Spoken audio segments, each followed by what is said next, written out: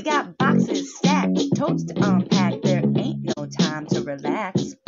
Coffee source, photo list. So. What's going on, everybody? Welcome back to Out Country Sales. If you are new here, I am Amber, and today is going to be You Might Be a Reseller If video. Are you ready for it? I'm ready for it. So, I'm actually doing this one a little differently. I'm going in there blindfolded. I'm going back two weeks because I know there was still comments on that video that I haven't got to, but I'm just to pick three random ones, maybe more. We'll see how it goes and uh, just gonna read them off and see what happens here. All right, so I'm gonna pull them up on my phone. Oh yeah, this was the one where I said, can I make a pile? You might be a reseller if you use the words, can I make a pile? That's my favorite one. I almost got to say it at the garage sale the other day, but there wasn't quite enough stuff there for me to say it. First one is Backroad Bidder Chuck. You might be a reseller if your favorite sport is auctions. Yes. Something I don't do but would like to get into more. I do storage unit auctions, but psh, haven't been able to do those in forever. But yes, auctions. That's why you're the Backroad Bidder. All right, the next one is... I like this one. This one is totally me. Okay, this is from Susie Q's Never Ending... She got a long name. I don't know if I can see it all. Jewelry. Make sure to put it up. Susie Q Never Ending Jewelry something. I can't see the rest of it, but I'll put it up there. You might be a reseller if you keep losing your pens and wondering if they accidentally got shipped with an order. Oh my god. I laughed my butt off when I read this one because I lose pens constantly, constantly, constantly, constantly. It is a daily struggle for me to have a pen, literally. I'm glad I'm not the only one. Ooh, this is a good one. Jen's Closet Gems said, You might be a reseller if you offer to pay a family member in advance for dibs at their item before they get rid of it. Oh my gosh, yes, yes, Jen, yes.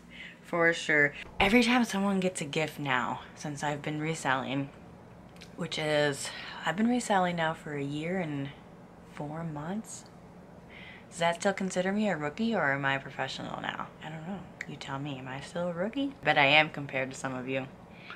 Um, now I forgot what I was saying. Yes, every time somebody gets a gift now, that's my first thought.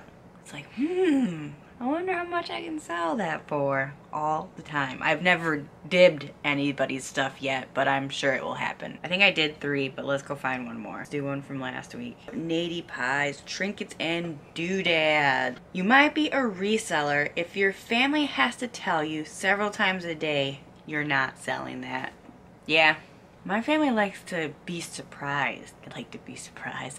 They are always seem to be surprised when I actually sell something weird because they're like, even, Mike is always surprised at the weird stuff I sell. Oh, this was a funny one. I remember talking to Nate about this, so I'm gonna I'm gonna share this with you guys, and then that'll be it. Okay, you might be a reseller if you see a garage sale sign with an arrow pointing into an abandoned building with a razor wire around it and no cars, and you still go in. And Nate said, true story. let me see what the comments were. What did I say after that? That was so funny. That cracked me up. I just said, I told him to be careful. And he said it was so sketchy, but got a lot of Christmas items for 25 cents each. So it was definitely worth your time, Nate. It definitely worth your time. All right, guys. Hopefully you enjoyed this You Might Be a Reseller If video. It was a little bit different. It was actually kind of fun not really knowing what I was going to be reading. So let me know if you like this by giving it a thumbs up and I will see you next time. Bye! I just posted a picture up on Facebook of a toilet coffee mug and I keep getting comments on it and it's distracting me.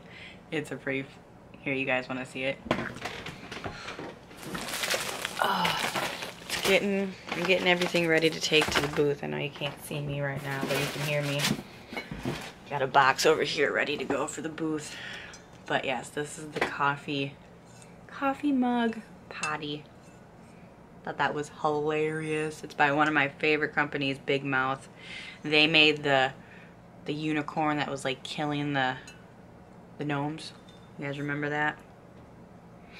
But yeah, I posted that Instagram, so I'm getting comments on it.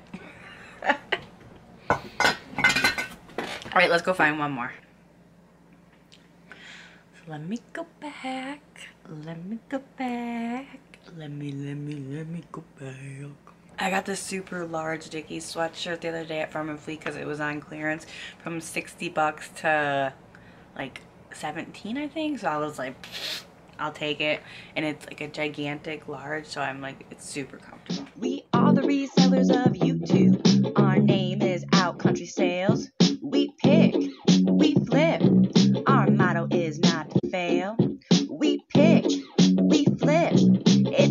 To send out the mail.